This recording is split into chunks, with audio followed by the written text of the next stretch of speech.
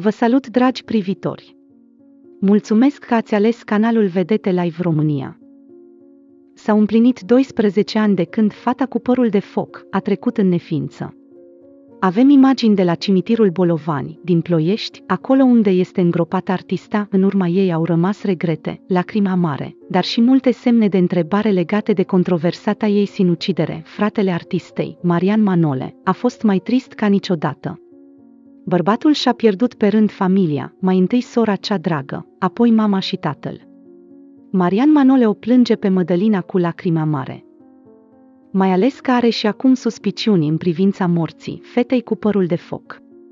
Acesta l-a acuzat de nenumărate ori pe soțul Mădălinei, Petru Mircea, că ar fi cauzat moartea surorii sale, împinând-o la suicid. Marian Manole a fost la mormântul Mădălinei ca să o comemoreze și a adresat o invitație și lui Petru Mircea să vină la cimitir cu actuala soție.